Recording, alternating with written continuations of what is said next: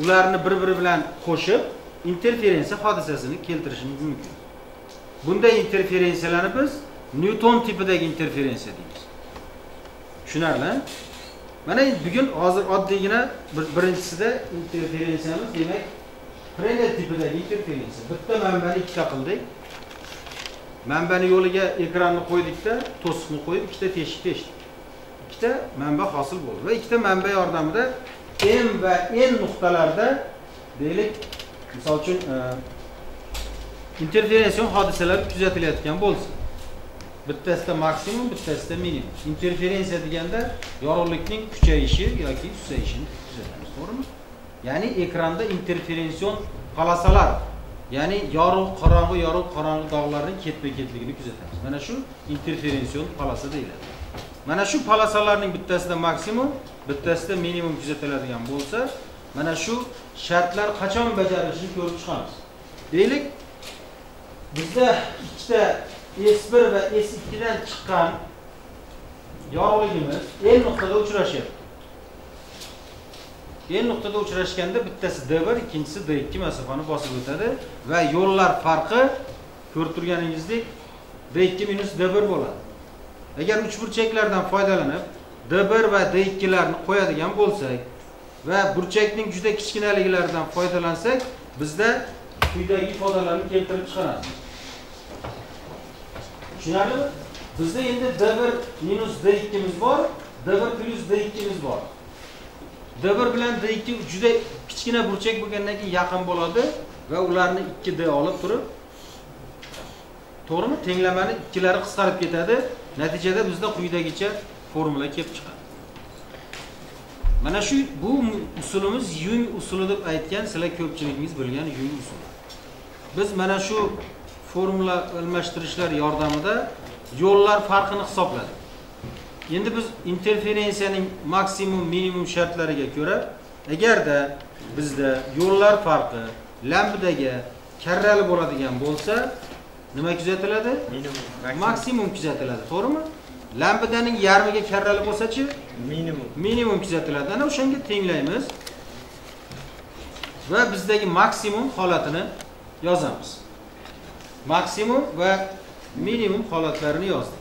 Endi o'sha maksimum va minimum holatlarini ayiradigan bo'lsak, bizda interferension polosaning kengligi kelib chiqadi. Shundaymi? Nima uchun kerak? Interferension polosaning kengligini bilish uchun nima uchun kerak? O'sha yorug'likning Yana yorug'likning to'lqin uzunligini aniqlash uchun kerak. Bu birinchi darsimizda aytdik, to'g'rimi? Optikaning asosiy maqsadi yorug'likni biror jism bilan, muhit bilan ta'sirlashtirib, undagi bo'layotgan xususiyatlarini aniqlash uchun undan sochilayotgan yorug'likning to'lqin uzunligini, chastotasini aniqlash. Shundaymi? Mana sizga oddiy eng oson yo'li. Yorug'likni muhitga tushirasiz. undan sochilayotgan yorug'likni bitta to'lqin uzunligini ajratib olasiz va uni yo'liga misol uchun ekranni qo'yib ikkita manba ko'rinishiga keltirasiz va interferension polosani hosil qilib yarim kengligini o'lchash mumkin, to'g'rimi? To'lqin uzunligini aniqlaysiz. Ana o'sha to'lqin uzunligi aynan molekulaning yoki o'sha muhitni tashkil qilgan atomning qanday harakat qilayotganligini ifodalovchi to'lqin uzunliklaridan to'liq hisoblanadi. Tushundingizmi? Nima o'tgan darsda o'tdim, birortangiz nimaga kerak bu degan savolni bermadi To'g'rimi? Mana nima uchun asosiy maqsad nimada? To'lqin uzunligini ko'z bilan o'lchab bo'lmaydi. To'g'rimi? Qo'l bilan o'lchab bo'lmaydi. Lekin interferension palasani kengligini o'lchash imkoniyatimizga egamizmi? Mikroskop yordamida o'lchashimiz mumkin. 103-ishni ko'pchiligingiz bajargansiz. Newton halqasini radiusini o'lchayapsiz. O'shani ikkitasini ayirsangiz, palasani qalinligi kelib chiqadimi?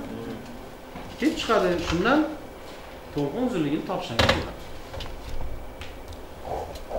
Bu yu usuli edi. Siz bilan ko'rib chiqamiz degan.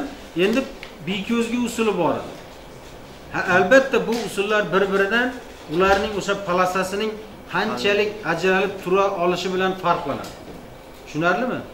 chunki siz aniq chegarani ko'rishingiz kerak ya'ni interferension polosani kengligini hisoblashingiz uchun aniq chegarani ko'ra olishimiz kerak bo'ladi interfrenelning b ko'zgusi ham s manbani ko'rib turganingizdek bu mana pastda turibdi s manbamiz o'rtada ekranga tushmasligi uchun k to'sib qo'yilgan o'sha to'siqdan ekranga nimani yorug'likning ekrandagi polosani o'zgartirmaydi. Ta'sir qilmaydi. Bizda ko'zgular bir biriga nisbatan juda kichkina burchakka og'dirilgan bir yuz sakson turgan bo'lsa kichkina alfa burchakka og'diriladi. Natijada bizda s bir va s ikki manbamiz hosil bo'ladi. Xuddi oldingi yung tajribasiga o'xshagan nima bo'ladi? Tajriba bo'ladi. Buyog'iga. Ularning faqat farqi bizda s manbadan ekrangacha bo'lgan masofamizning uzunligida bizda ekrangacha bo'lgan masofa qanchalik uzun bo'lsa oldingi slaydimizdan ko'radigan bo'lsak nima bo'ladi? Masofa qancha uzun bo'lsa. Polosaning qalinligi ham shunchalik aniq ko'rinadi. Lekin tasavvur qiling sizni o'lchaydigan priboringiz masofani uzoq qilish imkoniyatini beradimi? Bermaydi priboringizni xonada qilolmaysizku kichkina bir mana shu apparat mana shu nima proyektorga o'xshagan yoki undan kichkinaroq qilishimiz kerak hozirgi sharoitda uni qanchalik katta qilsangiz uni xarajati ham ko'payadi. Lekin kichkina qilsangiz nima bo'ladi? Yo'l kichrayib ketadi. Yo'ldan yutish uchun katta qilish kerak unda xarajat ko'payib ketadi. Shunaqa usullar topiladiki yo'lni uzaytirish ya'ni qurilmaning ichida o'zi yo'lni uzaytirish kerak. Shunaqa metodlarni o'ylab topish kerak tushunarlimi? Ya'ni yo'llar farqi bizda hosil bo'lishi uchun nurning bosib o'tadigan yo'lni ham iloji boricha uzaytirishga harakat qilishimiz kerak bo'ladi. Biz siz bilan optik qurilmalar degan mavzuyimiz bor shuni o'tayotganda bu mavzuga qaytamiz. Yana frenelning biy ko'zgusida ham oldingi yungga o'xshagan kelib qoladi faqatgina endi bu yerda bizda quyidagicha almashtirishlar amalga oshirilgandan keyin bizda ON deganimiz ikkita manba orasidagi masofa o'tgan darsda kelmaganlar uchun. Tushunarlimi? Ikkita manba orasidagi masofani L deb belgiladik. Oldingi slaydimizda o'sha L. Bu yerda nima degan? A deganmiz. ON ni nimaligini bilasiz. Ikkita ko'zga ulangan joyidan to ekrangacha bo'lgan masofa. D'miz A plyus B. Ya'ni manbadan ekrangacha bo'lgan masofa. Shunday o'zgartirishlarni qo'ygandan keyin burchagimiz juda juda kichkina bo'lganligi sababli quyidagi va quyidagicha o'zgartirishlarni kiritamiz. Bizda demak d r plus b ga teng ekan. Va natijada polosaning qalinligini topdik. Shunda a teng yer bo'lyaptimi nima? D teng a plus b deyapti. Pastda d teng r plus b deyapti. Mana d teng r plus b deb yozdik pastda. Anavi sinuslarni kichik burchak- burchakni kichkinaligi hisobiga bizda r nimaga teng bo'lib qoldi a ga teng tushundingizmi er A ga teng bo'lib qoldi. Va polosaning qalinligini topdik. Ko'rib turganingizdek, bu endi oldingi o'sha yung usulidan sal farq qiladi. Bu yerda endi bizda o'sha e, A va B lar keyin e, demak e, o'sha burchaklarimiz ishtirok etyapti. To'g'rimi? Ha. Mana endi bizda e, palasaning polosaning qalinligini o'lchash uchun yana imkoniyat paydo bo'ldi. To'g'rimi? Polosalar sonini o'lchashimiz mumkinmi? Mumkin. Deylik ikkalasining orasidagi chegara aniq topolmadingiz. Nima qilasiz? Polosani to'liq sonini olasiz, ma'lum bir oraliqdagi Siz shu oralikqa bo'lasiz sonini. Bitta polosani kengligi kelib chiqadi. Formulaga qo'yasiz, natijada yana to'lqin uzunligini oldingi usuldagidan ham aniqroq topish imkoniyati paydo bo'ladi. To'lqin uzunligi esingizdan chiqazmang, xuddi odamni, insonni qo'l barmoq izlariga o'xshab bitta molekuladagi ayrim-ayrim harakatlarni isbot ko'rsatib beradi. Har bitta to'lqin uzunligi, ya'ni sohalar bor. Misol uchun infraqizil yoki ultra binafsha ko'radigan sohamizda qizilmi, ko'kmi, o'sha to'lqin uzunliklari molekulada yoki atomda bo'layotgan fizik jarayonni tushuntirib berishga xizmat qiladi. o'shaning uchun kerak bu narsa. Tushunarlimi? Endi bugun davom ettiradi mana bu yerda frenelning bi ko'zgu e, bi linza usuli bor. Bu uyga topshiriq. Yozib qo'ying hammangiz frenelning bi linza usulidagi palasalar kengligini topish formulasini keltirib chiqadi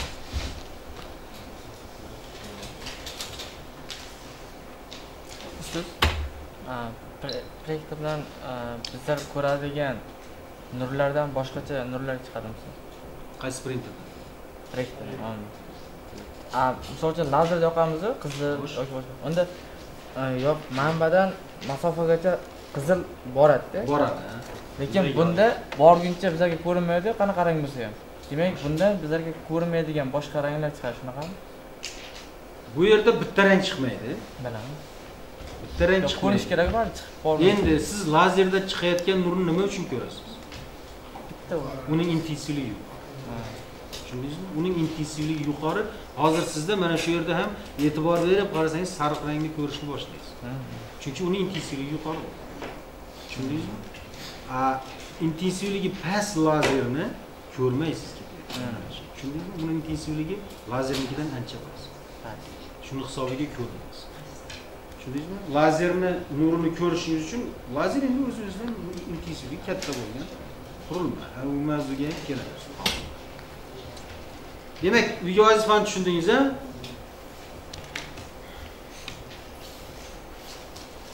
bu qanday qurilma bu ham bir ko'zgu biprizma biprizma uzun ikkita prizmani qo'yadi va o'sha prizmalar yordamida yorug'lik manbayini ikkita qilib ekranda interferension manzarani hosil qiladi.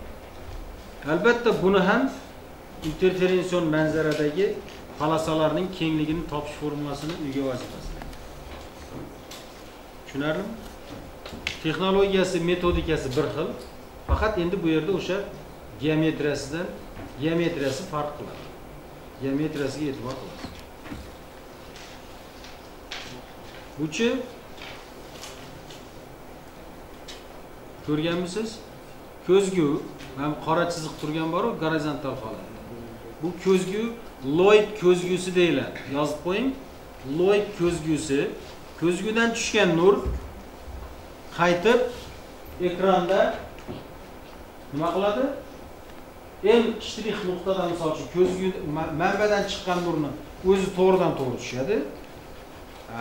Ko'zgudan qaytgani ham borib to'g'ri tushishi mumkin. O'sha nuqtada ikkita nur hosil bo'ldi. Bu ham nyuton tipidagi e, frenel tipidagi interferensiyaga misol. Bitta ko'zguda demak aks etgandan keyin bizda s bir yorug'lik manbai hosil bo'ladi. Xuddi shundan chiqayotganga o'xshaydi. Mavhum yorug'lik manbai to'g'rimi? Undan chiqadi va bizda ikkita manbadan hosil bo'layotgan interferension manzarani kuzatishimiz mumkin. Bunda ham demak polosalar kengligini topish formulasini topasiz.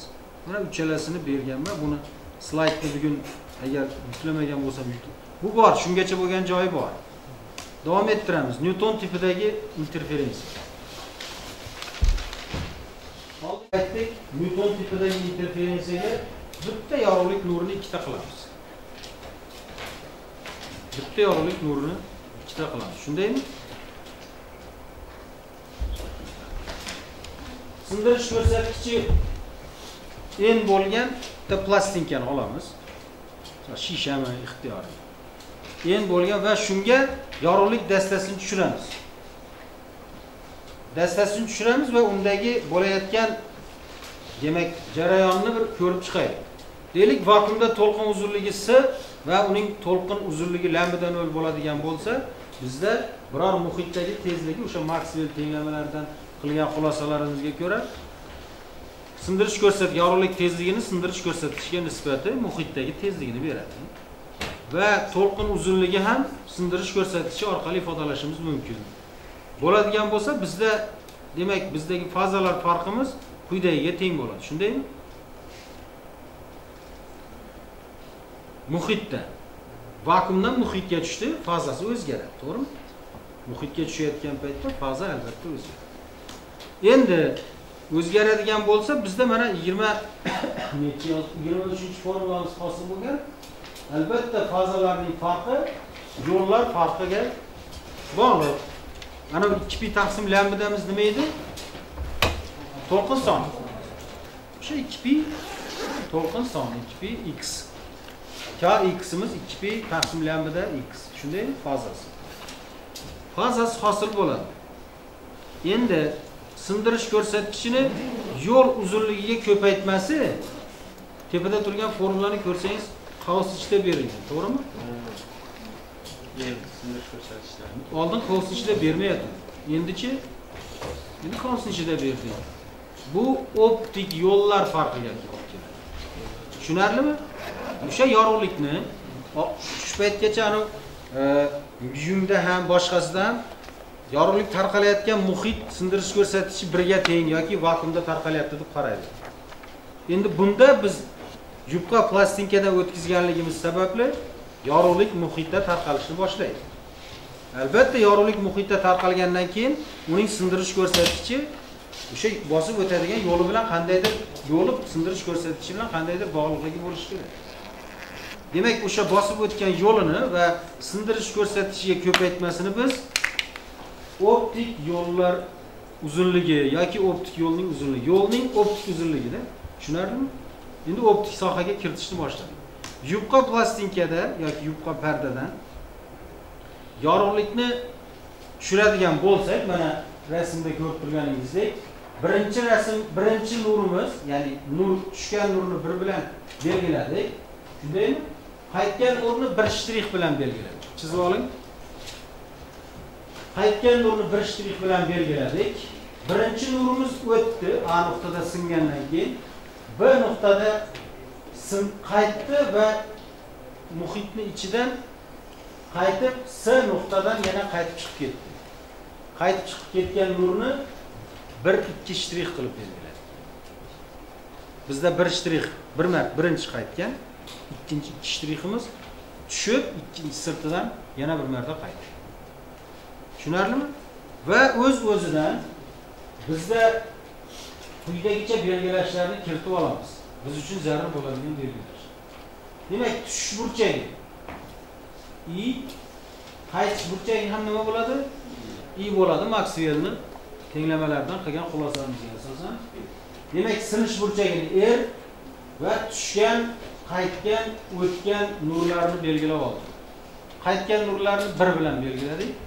Ya'ni bir shtrix bir ikki shtrix qaytganni e, qaytganni o'tganni ikki bilan belgiladik.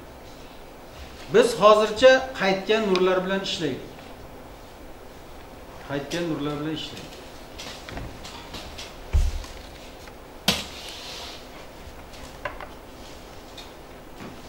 bir shtrix va bir ikki shtrix nurlarni yo'liga biz interferension manzara hosil qilishimiz uchun nima qo'yishimiz kerak?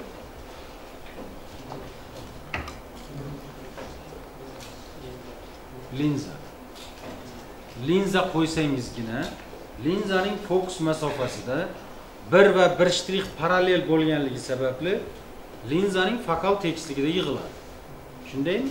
Endi fokal tekislikka ekranni qo'ysangiz o'sha nuqtada yorug'lik hosil bo'lsa maksimum bo'ladi. To'g'rimi? Agar qorong'idoq bo'lsa minimum bo'ladi. To'g'rimi? Ana o'sha qachon qorong'i qachon yorug' bo'ladi? Yo'llar farqini demak o'sha e, to'lqin uzunligi karrali karra yoki yarmiga karraliligi bo'yicha. Bu albatta plastinkaning qalinligi bilan baholanadi. Biz mana shu jarayonni hozir ko'rib chiqamiz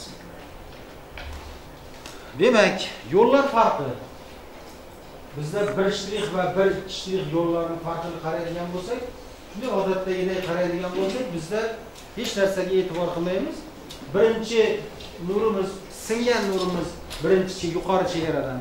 Tushib pastki chegaradan qaytdi va yuqori chegaradan sinib yana bir shtrixni davom ettirdi. Demak a bni bosib o'tdi to'g'rimi? Adan b gacha bdan s gacha yo'lni bosib o'tdi. Albatta u muhitning ichidagi bosib o'tgan yo'li bo'lganligi sababli enga ko'paydi. Tushunarlimi? Enga ko'paytirdik va optik yo'llar farqi hosil mana shu nurimiz ya'ni singan nurimiz qaytib chiqib ketguncha bosib o'tgan yo'lni biz ikkinchisi birinchi haligi chegaradan yuqorigi chegaradan qaytgan nurning bir shtrixning bosib o'tgan yo'lini bilishimiz kerak o'sha paytgacha. Yo'llar farqini topishimiz uchun. Buning uchun ikkita nurga perpendikulyar o'tkazamiz to'g'rimi? Bu yoki birortasiga perpendikulyar o'tkazamiz va o'sha s nuqtadagi s nuqtaga bir shtrixdan perpendikulyar tushiradigan bo'lsangiz bizdagi bir shtrix bilan perpendikulyarni kesishgan nuqtasini y harfi bilan belgilaymiz. Demak bir ikki shtriximiz ya'ni ikki shtrix deb aytaylik hozir faqat qaytgan bilan gaplashyapmiz. Ikki shtriximiz adan bgacha bdan sgacha yo'lni bosib o'tgan paytda bir shtriximiz adan ygacha bo'lgan yo'lni bosib o'tadi.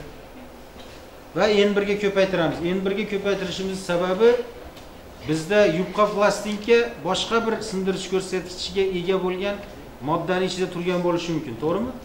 Shisha suvni ichida turgan bo'lishi mumkin. O'shaning uchun n birni ham kiritib qo'yamiz. Bizda optik yo'llar farqini hisoblayotganda mana shu formuladan foydalanamiz. Yana nimani e'tiborga olish kerak? Nima qolib ketdi? Yo'q yutilishni inobatga olmaylik hozircha. Nima qolib ketdi formulada yo'llar farqini topishda yambida Yamba taqsim ikki qo'shib nega? Nimaga ha? Farqi. nega? Yo'q. Linza emas bu yerda yupqa plastinka qalinligi emas Nega degan savol qo'yapti? O'sha nega degan savol. lanta taqsim ikkiga o'zgaradi deyapti. Nega deyapman? To'g'ri. Bir xillashtirib olishimiz kerak yo'q. Bu javob frenel tenglamalarini esladingizmi? Frenel tenglamalarini tushuntirib berayotgan paytimda shu mavzuga qaytamiz yaxshilab e'tibor bering dedim o'sha joy o'shani yana qaytyapmanda hozir nega degan savol. Mana yorug'lik ketyapti man yorug'likman misol uchun. To'g'rimi? Bu tushib qaytyapti to'g'rimi? Tushib qaytdim nima o'zgardi? Fazni demak to'g'rimi? Man bu tomonga ketishim uchun o'n vint qoidasini qo'llashim uchun nima qilaman? E va hni soat strelkasiga burab yo'nalishini aniqlayman. To'g'rimi? Bu yoqqa ketyapman. To'g'ri bu yoqqa ketishim uchun nima bo'lishi kerak? Bu yoqqa burilishim kerak ye turaveradi h piga o'zgarishi kerak to'g'rimi? A piga o'zgarish uchun? Piga o'zgarganda nima to'lqin uzunligi qanchaga o'zgaradi? Lambda taqsim ikkiga o'zgaradi shu narsa. Shuning uchun qo'shiladi. Ya'ni bizda tushayotgan nurning yo'nalishi o'zgarganligi sababli qarama qarshi tomonga. Bizdagi tebranish piga o'zgaradi. Yoki bo'lmasa to'lqin uzunligi lambda taqsim ikkiga farq qiladi. Tushunarlimi? O'shaning uchun buni qo'shamiz. Bu qachon bo'ladi bu narsa? Yorug'lik sindirish ko'rsatkichi kichkina bo'lgan muhitdan katta bo'lgan muhitga tushayotganda eslab qoldingizmi? Ana o'sha narsa bo'lganligi sababli bizdagi mana bu yo'llar farqi yozgan yigirma to'rtinchi formulamiz o'rinli bo'ladi. Tushunarlimi?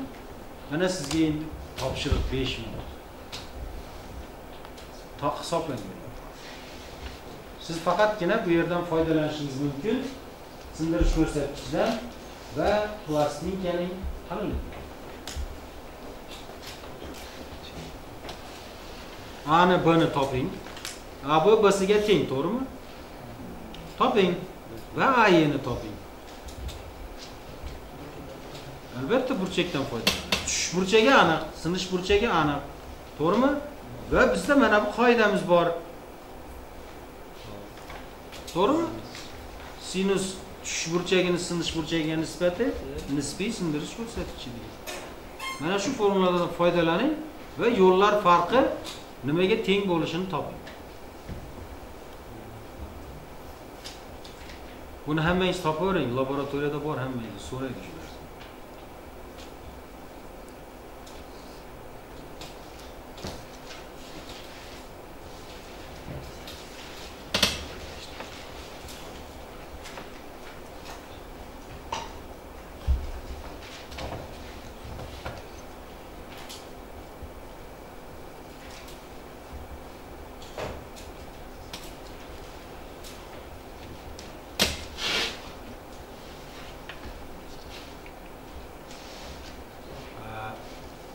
rasm ko'rinib turibdi. Axir hammaga burchaklari tushunadi. Kim topdi?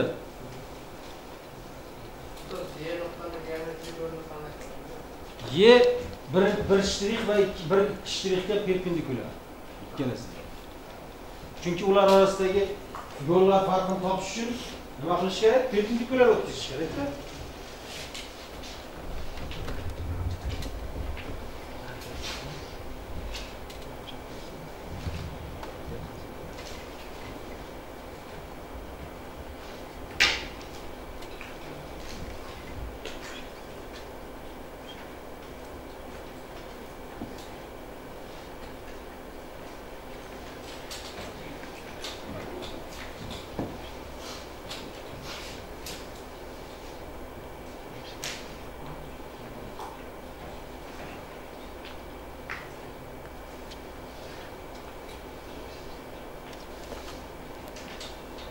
Bu nur tushadi pastga sinib qaytib mana shu yerga kelgan paytda biz ikkalasini yo'llarini farqisini topishimiz uchun bunga mana shu nuqtaga mana bu nurdan perpendikulyar o'tkazamiz. Mana shu nuqtani e deb biz s deb qo'yamiz to'g'ri?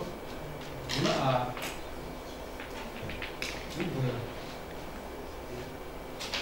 Tushunarlimi? Yo'llar farqini topish uchun albatta perpendikulyar o'tkazish kerak asosiy ishlar shu.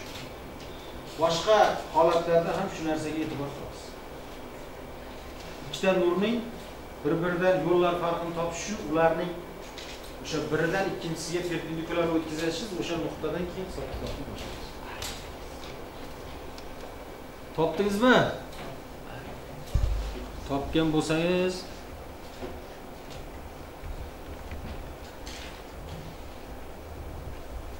Sochma chiqqan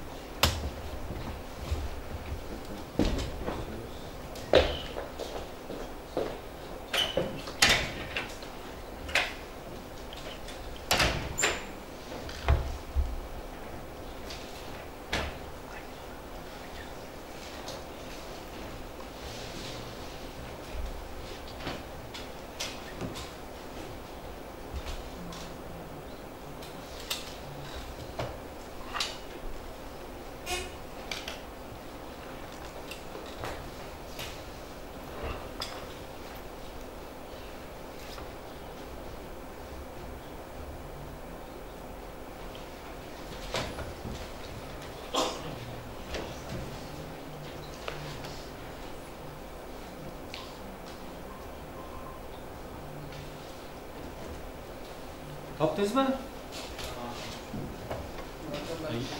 ha murakkablashib ketdimi Mana sizga ikki endi ko'rsangiz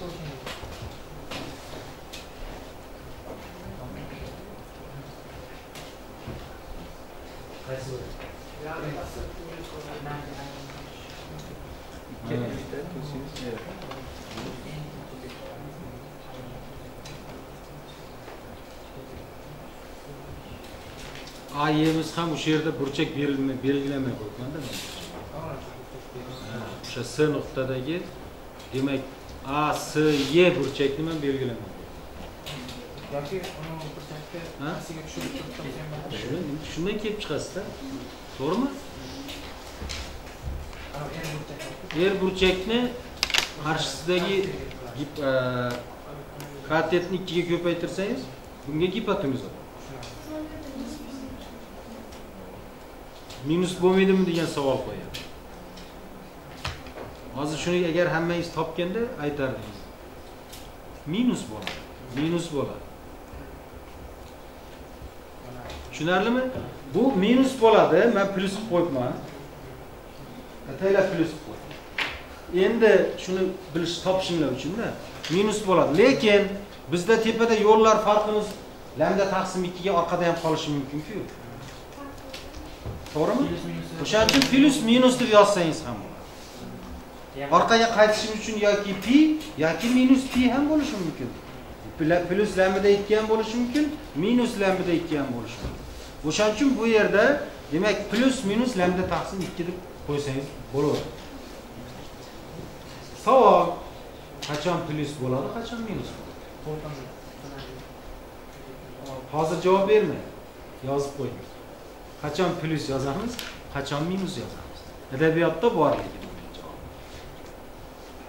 tushunarlimi? O'sha lambda taqsim ikki qachon plyus bo'ladi va qachon minus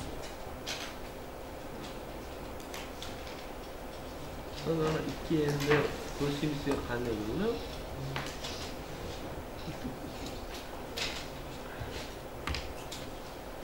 Boshlaymizmi boshidan asta sekin boshiga chiqib qolib ketadida darsimiz o'zing oldin Ya ikkida to'qson soatlik darsimiz keyin yetmishga tushdi keyin oltmish to'rtga tushdi. Endi hozir oltmishga tushdi. Qisqartirib qisqartirib boryapmizda hammasi. Bo'lmasa ku ya endi mayliku kreditga o'tdik oltmishga tushdi tushunarlimi ikki kosinus yerda hu anavi sinish qonuni borku o'shani qo'llaysizda keyin shuni tushundingizmi kimda savol bor yana marhamat savollaringiz yo'q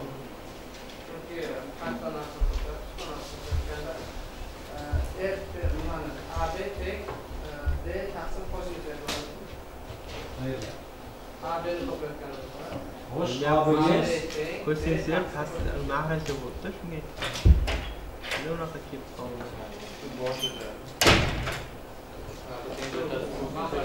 AB to'g'rimi a b d taqsim kosinusga xo'sh biz o'sha yo'llar farqini lambadagi karralasini qo'yadigan bo'lsam endi boyagi oldingi ko'rib chiqqan nimalarimizdagi tajribalarimizdagi nisbatan teskarisi bo'lib qoldi demak yarim to'lqin uzunligiga karrala bo'lib qolsa nima bo'lyapti?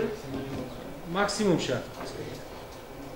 O'sha sindirish ko'rsatkichini hisobiga. Oldingi maksimum minimumlarimiz bizda quyidagicha holatda yoziladi. Tushunarlimi? To'lqin uzunligiga karrali bo'lsa minimum bo'lib qolyapti.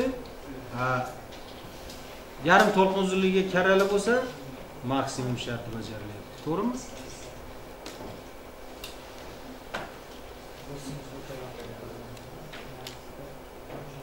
Ha ha bu endi sinish burchagi hozir ko'rib turganingizdek tushish burchagi orqali ifodalaydigan bo'lsangiz bu yerda d kosinus erni o'rniga boya man formulani qo'yasiz.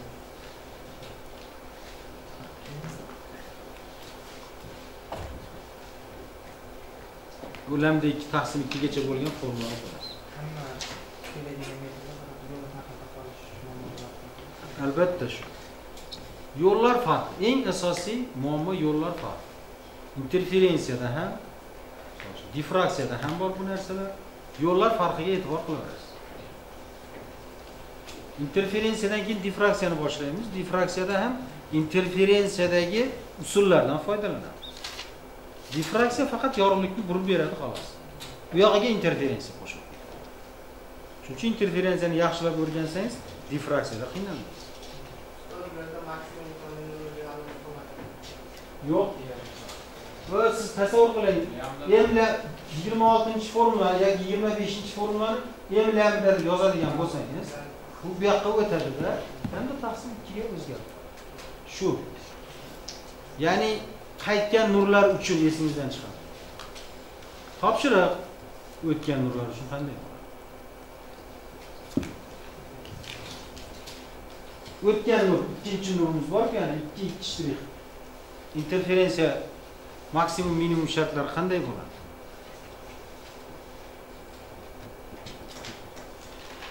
Yozdingizmi daftarga? Yozing oraliq yakuniy nazoratlarda o'tgan nurlardagi maksimum shartni toping degan muhit o'zgargan. Muhit o'zgarmaydi. Shu muhitni o'zi. Ha, shu lambda taqsim ikki bo'lmaydida. Lambda taqsim ikki bo'lmaydi. O'shaning uchun o'zingiz uyda buni keltirib chiqarasiz Xuddi shunday bo'ladida maksimum meni uncha almashamayapti. Endi uni shuni ko'rasizda. Hozir unday bo'ladi bunday bo'ladi demaylik shuning uchun topshiriq topshiriq uyga o'zi haligi zerikkan paytingiz tiktokni ko'rmaysizda? O'tgan nurlar bo'yicha interferensiyani ko'rasiz. Boya aytgan topshiriqlarni o'rganasiz. Landsbekda bor.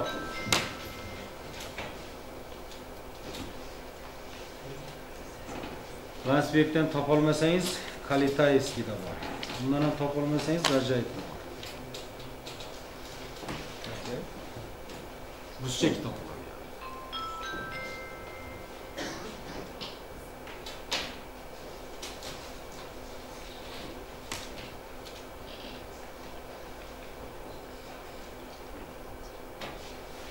mana ko'rib turganingizdek qaytgan e, singan va e,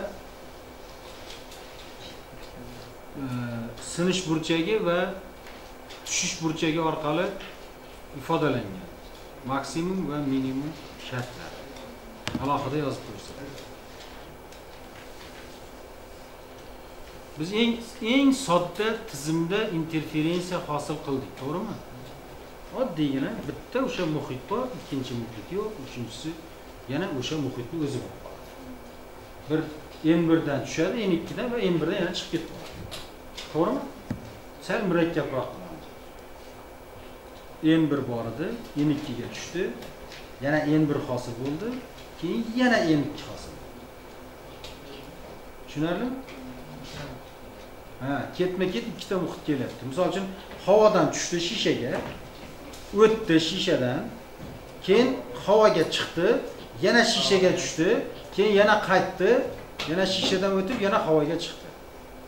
Ketma ket degan mana shu ketma ketlikni ko'ramizda.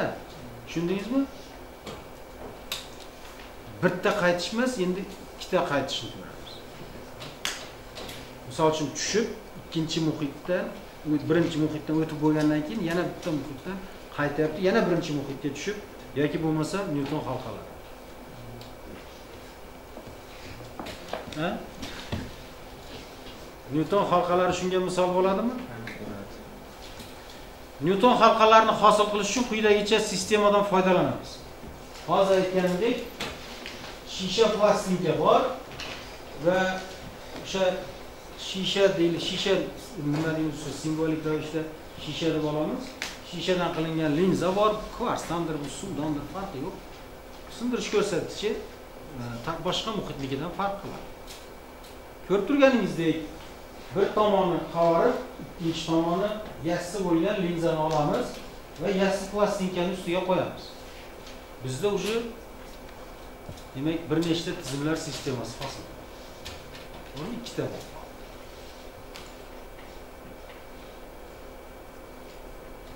Linzaning radiusi yerga teng bo'lsin va bu linzaga parallel ya'ni linzaning yassi tomoniga perpendikulyar o'tkazadigan bo'lsak shu perpendikulyarga parallel nurlar dastasi tushsin. Boshqacha aytganda linzaga perpendikulyar nurlar dastasi tushyapti. Linzaning yassi tomoniga perpendikulyar nurlar dastasi tushyapti. To'g'rimi? Oldingi ko'rgan yupqa plastinkamizdagi maksimum minimum shartlari bor o'sha shart nimasi bilan o'zgaradi endi?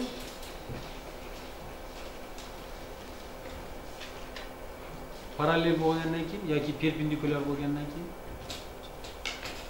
Kosinus r yo'q birga teng bo'ladi. I nolga teng bo'ladi r ham nolga teng bo'ladi. Natijada bizda kosinusimiz nol bo'lgandan keyin bir argumentim burchak nol bo'lgandan keyin birga teng bo'lib qoladi. Boshqacha aytganda vaziyatni quyidagicha tushuntirishimiz mumkin. Mana shu linzaning yassi tomoniga perpendikulyar nurlar nurlar perpendikulyar kelib tushgandan keyin linzadan o'tgan nur pastdagi yassi plastinkaga tushib qaytadi. Qaytgandan keyin yana linzadan chiqib tepadagi linzaning bir tepadagi yassi sirtidan qaytgan nur bilan o'zaro interferensiyalashadi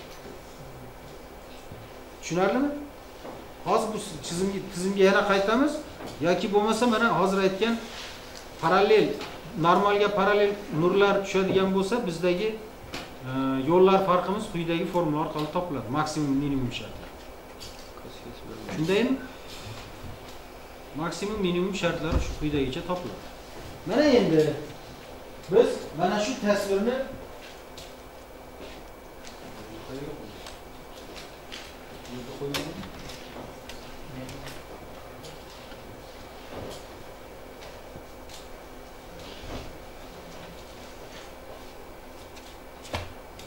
Nima?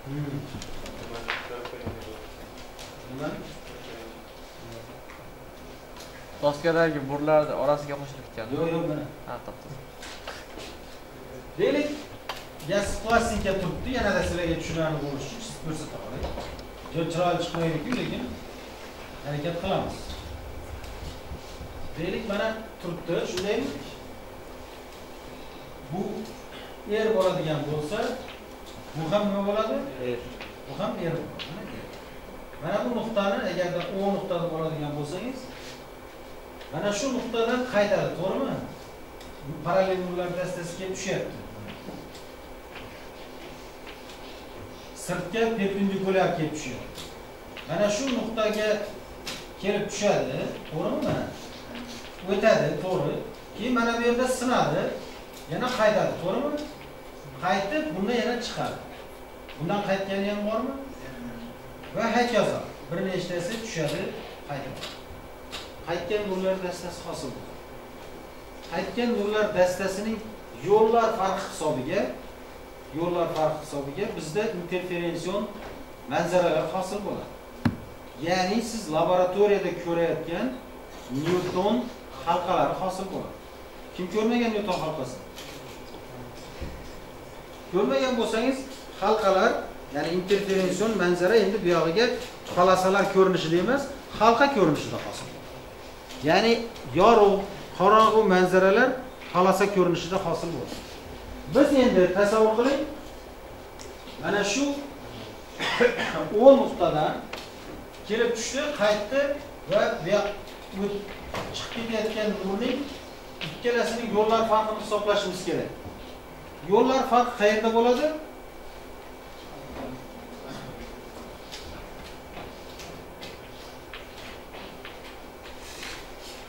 Yupqa plastikka mana shu soha.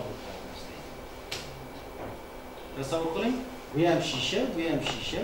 Lekin teskarisi, bu ham havo, bu ham havoda hamma joyi suv bilan to'ldirilgan. Bitta muhit bo'lib qoldimi endi? Tushundingizmi? Yashang. Linzani havodan yasaymiz. Tushunarlimi? Plastinkani ham havodan yasaymiz. Yoki bo'lmasa, mana shu joylarni shunday aylantiramiz, ichini suv bilan to'ldirsak, bu yeri havo bo'lib qoladi, to'g'rimi? Havodan nur tushyapti. Mana bu yerdagi plastinkaga tushib, yana qaytadi, to'g'rimi? Mana bu narsa bo'lib qoldimi? Mana shu joyimiz, mana shu sohamiz. Mana bu. Shuning uchun mana formuladan foydalanamiz. chegarasi qanday aniqlanadi? Qaysi chegarasi? burchakka tushayotgan chegarasi borku bitta hisoblayapman Mana shudami? nuqta qanday belgilab Mana shudami? Mana shu D, mana shu O nuqta bilan mana bu ikkalasini orasi bo'ladi. yo'q o'sha chegara qo'yilyapti qandaydir chegaragacha ushlab bu yog'iga o'tamiz Yo'q, o'n nuqtani Xohlasangiz, mana bu nuqtani oling, farqi yo'q.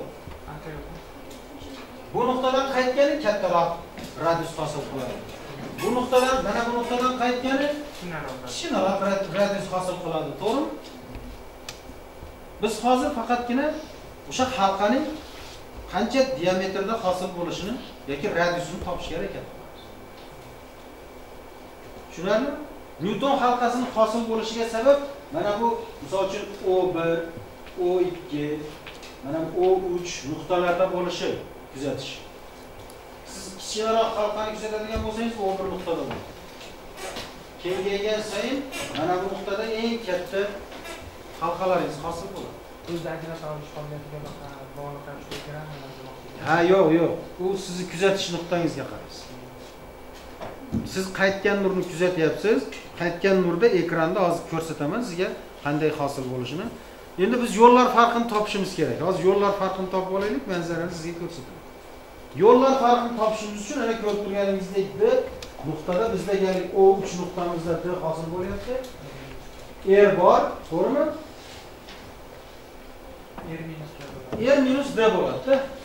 Mana bu nuqta, to'g'rimi? Bu ham D bo'ladi. Er minus D bo'lsa bizda mana bu er, mana bu sohamiz er minus D bo'ladi. To'g'rimi? Qat'iy. shundaymi mana bu katetimiz nimaga teng bo'ladi shunda kichkina yer halqasini radiyusi tushunarlimi? Mana bu nuqta mana shu mana shu nuqta. Kichkina yer bilan belgilaymiz. Bu d mana bu katta yer. Biz kichkina yerni mana bu bu sohamiz katta yer minus d va formulani yozdik. Pifagor teoremasini r kvadrat r minus d kvadrati va r ning kvadrati. R m degani m'inchi halqaning radiusi degan. Buni ochib yuboradigan bo'lsangiz bizda quyidagi formulamiz kelib chiqadi.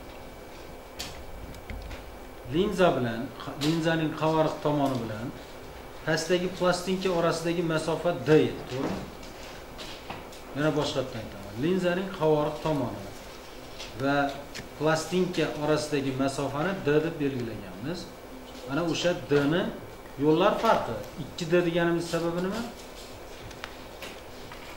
Ikki marta ikki marta o'tadi. Demak bizda nyuton halqasining nyuton halqasining radiusini linzaning radiusiga nisbatiga teng bo'lib qolyapti. Shundaymi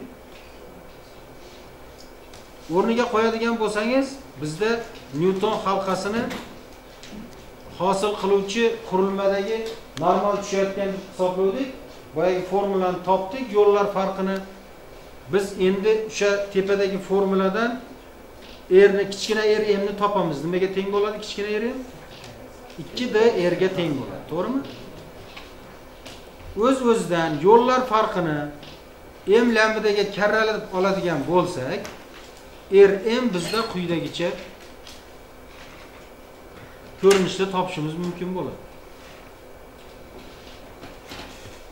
Nyuton halqasining eminchi tartibdagi nyuton halqasining radiusi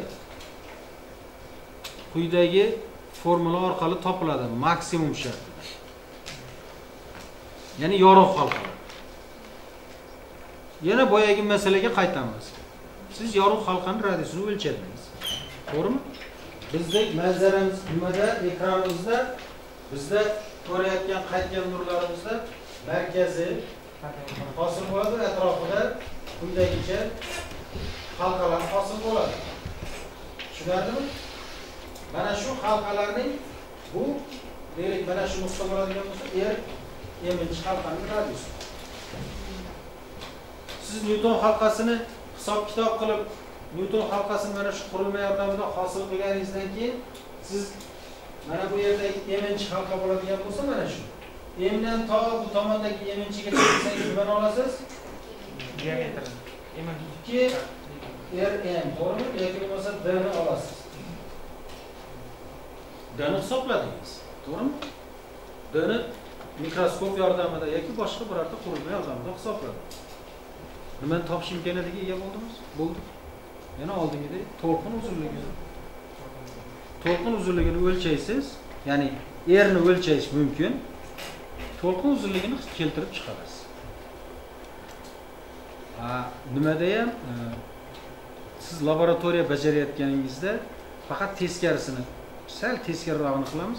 Linzaning egrilik radiusini to'g'rimi? Chunki sizda ma'lum to'lqin uzunligi borda. Siz ma'lum to'lqin uzunligini tushunatdingiz linzani egrilik radiusini ham hisobladingiz aniqda.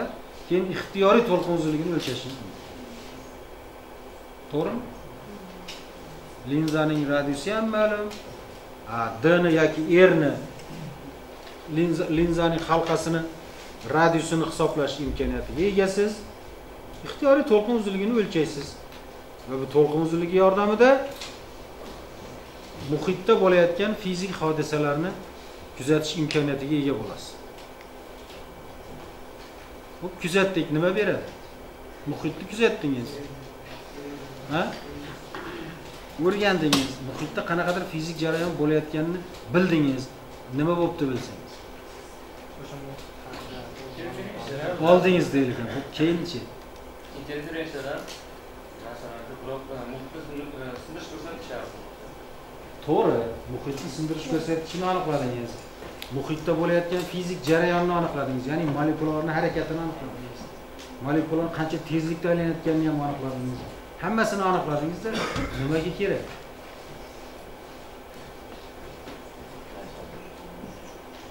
Maqsad nima? O'lchadik bo'ldimi? Yashang o'sha holatini o'sha xossasini o'zingizga kerakli tomonga bura olishga imkoniyatiga ega bo'lasiz. Ana kuni aytdimki mikro to'lqinlar hech to'lqin uzunligini aniqlab qo'yibsiz uni. Shu to'lqin uzunligi bilan ta'sir qilasiz qizdirasiz. To'g'rimi? Asosiy ha o'sha suvnikini bilib shunga mos to'lqin uzunligini jo'natdingiz rezonans qildingizda qizdirdingiz. O'zingiz uchun foydalandingizmi? Insonning oldiga qo'ygan maqsad izlanishlardagi hammasidan maqsad shu. Moddani o'rgandingiz bo'ldi deb tashlab ketmaysiz uni oddiy til bilan aytganda nanorobot yasash yasashni boshlaysiz. To'g'rimi? Qani imkoniyati bo'lsa siz shu xossalarni o'rgangandan keyin uni boshqarishni ham biling. Boshqarishni biling. Bir haftalab yomg'ir yog'dirmaysiz. To'g'rimi? Hosil pishadiman deb qoldi yomg'irni chaqirdingiz lekin buni albatta buni chegarasi bor. Lekin sekin sekin baribir shu narsaga harakat qilaveradi. Ha chegarangiz uzoqlashaveradi lekin nimagadir erishasiz. Albatta insoniyatni aqli yetmaydigan narsalar ko'p. Lekin aqlim yetmaydi bunga deb o'tiraverish ham yaxshi emas. O'rgansangiz izlanaversangiz shuni sizga yetadigan qilib qo'yadi kerak bo'lsa aqlingiz. Bilib olasiz shu narsani. Be bu rosa qiyin narsa desangiz uni tushunmaysiz. Uni tushunish uchun yana boshqa narsalarni anglab olasiz. Tushunarlimi? Bu demak nyutonning yorug' halqalarini demak to'g'rimi? O'rtada qanday qora bo'ladi qorong'u halqalarning radiusini minimum sharti deymiz. To'g'rimi? Hozirgina gapirdi o'rtada har doim qora bo'ladi ekan. Yozib qo'ying nega o'rtada qora bo'ladi? Shu yerga to'plansa kerak bu yerda hech narsa to'planmaydi. Bu yerda interferensiya bo'ladi. Yo'q bunday emas. Siz bunday qiling yaxshisi yozib qo'ying. Man o'zim aytmoqchi edim bu o'zi gapirib qo'ydida qora bo'ladi yorug' yorug' nima qora dog' hosil bo'ladi. Yoki mana maksimum minimum shartini yozib oldingizmi? Nega o'rtada qora dog' hosil bo'ladi? Qaytgan nurlar uchun bu uyga vazifa o'sha payt adolat farqi va eng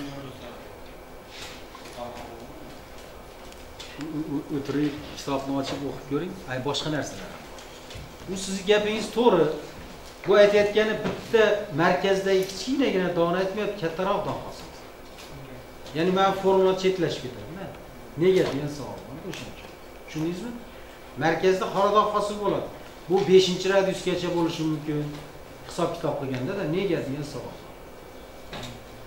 oddiy qilib aytganda mana sizga nyutonni halqasini ko'rinishi.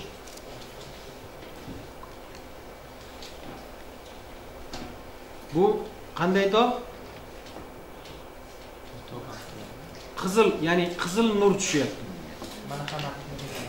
Ha qizil nur tushyapti. Albatta nyuton halqasini hosil qilishda biz e, o'sha monoxromatik nurdan foydalanamiz. Ya'ni qaysidir rangdan foydalanamiz. Oq yorug'lik tushsangiz ko'rinmaydi oq yorug'likda qorong'i sohalarni yoqib ketadi bir ikkinchisi faqat bizda monoxromatik ya'ni bitta to'lqin uzunligi tushirishimiz kerak. Tushunarlimi bitta to'lqin uzunligi tushirsangiz boyagi nyuton tipidagi interferensiyaga o'xshab bitta nur ikkiga chiqib ajralib ikkita uchta to'rtta beshta bo'lib ketadida o'shalarni o'zaro yo'llar farqini hisobiga interferensiyalashib bizda nyuton halqalari hosil bo'ladi. Tushunarlimi? Albatta bu nyuton halqalari o'ziga yarasha o'ziga xos e, foydali tomonlari ko'p. Misol uchun siz o'sha nurning yo'liga har xil moslamalarni qo'yib quyidagicha tasvirlarni olib kelishingiz mumkin.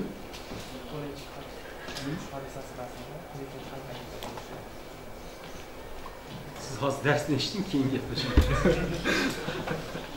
hali ham shuni o'ylab o'tiribsizmi? Topshiriqni darrov yozingda esdan chiqaring keyin o'tirib o'ylaysiz sababi keyingi gaplar esingizdan chiqib ketadida. Mani bir sinfdoshim bor edi. Tanaffus paytida mana shunaqa o'sha bir narsani tortishsak dars u kechqurun tugaydi soat to'rtda tugaydi dars. Chiqadida shuni so'raydida kuni bilan o'tgan dars eshitmadi u. Faqat o'sha birinchi soatda nima topshiriq bo'lsa shuni o'ylab yuraveradida. Iloji boricha buni yozib qo'yingda keyin qaytishga harakat qiling ko'rib turganingizdek. Chap tarafdagi newton halqalarini o'nga har xil vaziyatlarni hosil qilyapmiz. Ko'rdingizmi? O'sha newton halqasini vaziyati faqatgina nima hisobiga hosil bo'ldi buni nima o'zgarish qildi? Tajribada nima o'zgarish qildi?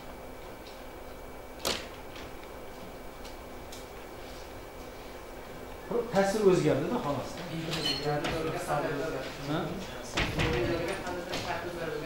O'shani taniqlang. O'shani aniqlang tushunarlimi? Shuni qidirib ko'ring. Nima qilsa bunday holatlar hosil bo'ladi. Linzani bir tomonini yopish mumkin. To'g'rimi? Mana shunga o'xshagan holatlar bo'lishi mumkin. Qanday ma'no bir tomonni yopsangiz yopilib qoladi. To'g'rimi yopilib qoladi shunga o'xshagan jarayon bo'lyaptida bu yerda chunki bir tomoni yopiladi bu tomoniga o'tmaydi. Faqat o'sha yerda parallel ya'ni perpendikulyar tushayotgandan keyin o'sha qaytganligini ko'ramiz. Topshiriq o'tgan nurlarda qanday bo'ladi? Hammasini qaytganini ko'ryapmizda to'g'rimi? Endi o'tgan nurlarda qanday bo'ladi?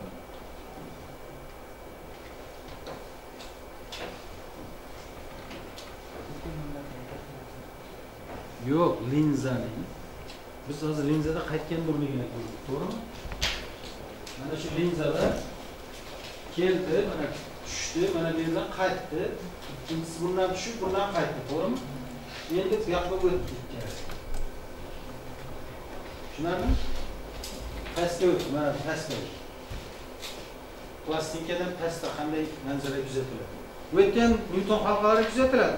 Faqat maksimum minimum shartlari endi boshqacha. Hmm? Nega?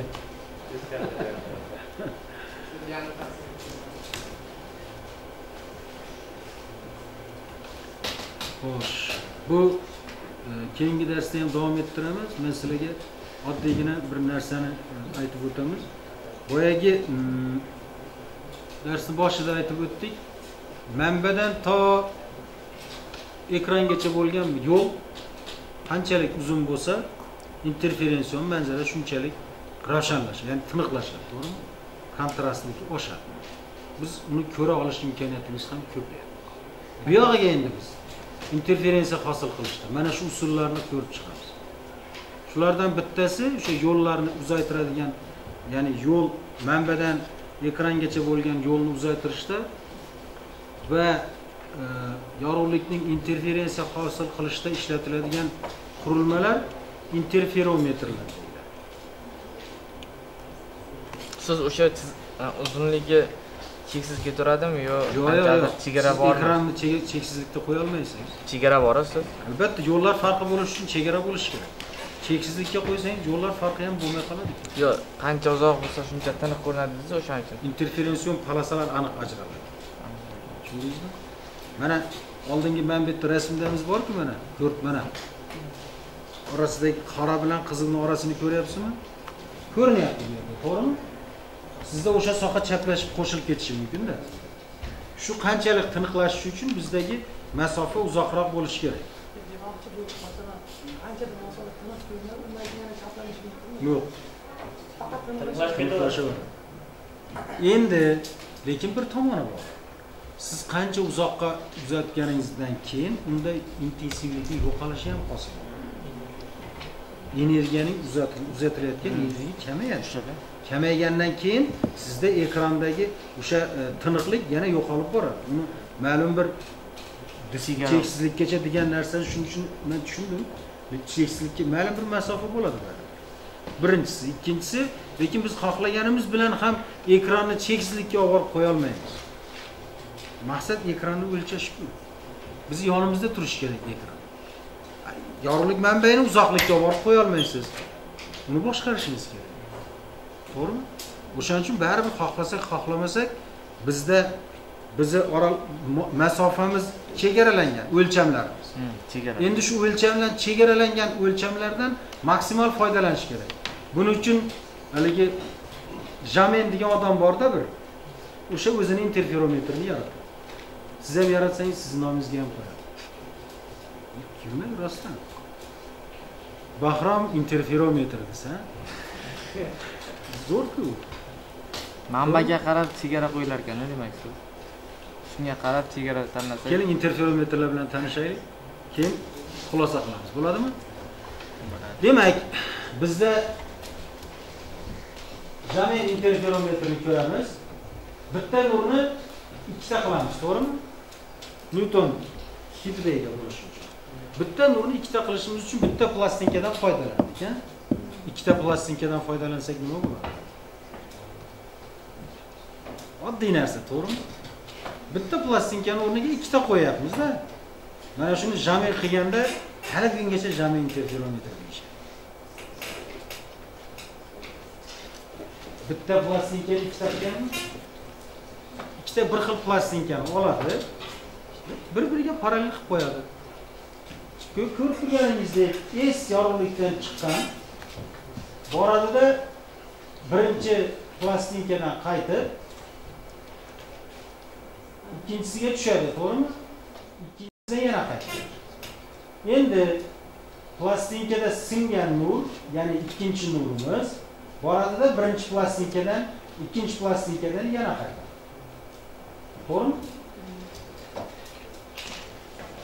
Endi o'z o'zidan birinchi nurimiz singan plastinkadan qaytib sinib ya'ni ikkinchi plastinkadan. Ikki bilan uchni ko'ryapsizmi? Yonma-yon chiqdi a? yo'liga bularni yo'liga linza qo'yish orqali bir ikki uch to'rtlarni o'zaro yo'llar farqiga qarab turib interferension polosa hosil tushundingizmi? Interferension polosa hosil qilinadi. Va hosil qilingan interferension polosa yordamida yorug'likda bo'layotgan ya'ni to'lqin uzunligini o'lchash imkoniyatiga ega bo'lamiz. Shunday shunday yana nima olishimiz mumkin? Birinchisi to'lqin uzunligini aniqlash imkoniyatiga egamiz to'g'rimi? Yana nimaga kerak? Nima uchun hammamiz shunchalik ko'p gapiramiz? Ha Sirtni tekisligini aniqlash uchun yana interferensiya o'zi interferensiya hodisasi orqali kuzatyapmiz endi tasavvur qiling. Sizda interferension manzara hosil bo'ldi. To'g'rimi? Polosalar hosil bo'ldi. Polosalarning kengligini o'lchadingiz va to'lqin uzunligini aniqlab qo'ydingiz. Shu bilan ish tamom emas. Birinchi yoki ikkinchi nurning yo'liga birorta moddani qo'ysangiz yo'llar farqi o'zgaradimi o'zgaradi. Yo'llar farqi o'zgarsa nimani topish mumkin? Optik yo'llar farqi o'zgarsa? Noma'lum moddaning sindirish ko'rsatkichini topish mumkin. Qo'shilyaptimi shu foydali tomoni? Refraktometra siz noma'lum moddani sindirish ko'rsatkichini topasiz. Sindirish ko'rsatkichini topdingizmi? U yog'iga ketdi yana haligi bizda bitta tanishimiz bor edi menga kostyumini yengil ushlasam bo'ldi bu yog'ini yechib olaman dedida sindirish ko'rsatkichini topgandan keyin ketdi u yog'i уже qo'shilib ketaveradi. Asosiysi nimanidir aniqlab olish kerakda.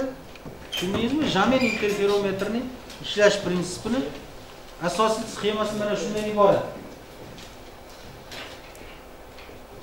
Biz keyingi darsda endi yo'llar farqini hisoblaymiz polosalarni hisoblaymiz sindirish ko'rsatkichlarini hisoblaymiz va hokazo hokazo hokazo kimda savol bor?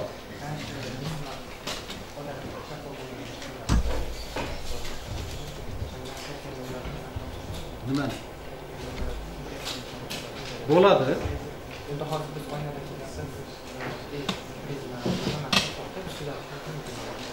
faqatgina siz yo'llar farqini hosil qilib o'sha ikkita yo'l nurni bir joyga keltira olishingiz kerak. Prizmaga tushirdingiz prizmadan qaytgandan keyin birinchi nur bilan ikkinchi nur ikki tomonga tarqalib ketdi. Qanaqa yig'asizmi siz majbursiz yo'liga bir pul qo'yasizda uni qiyshaytirasiz ko'zga qo'yib to'g'rimi ko'zga qo'yib qiyshaytirasizda ikkalasini parallel qilib bemalol endi faqat yo'llar farqi bor